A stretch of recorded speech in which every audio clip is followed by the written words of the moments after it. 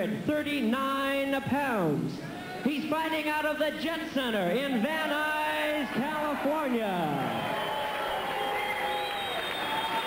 Ladies and gentlemen, he is the WKA Junior Welterweight Champion of the World. Welcome the undefeated Peter Sugarfoot Cunningham.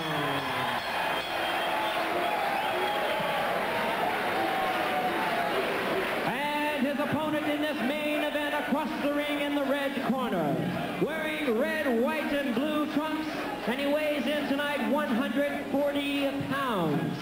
From Bangkok, Thailand, he's fighting out of the Muay Thai Academy of America.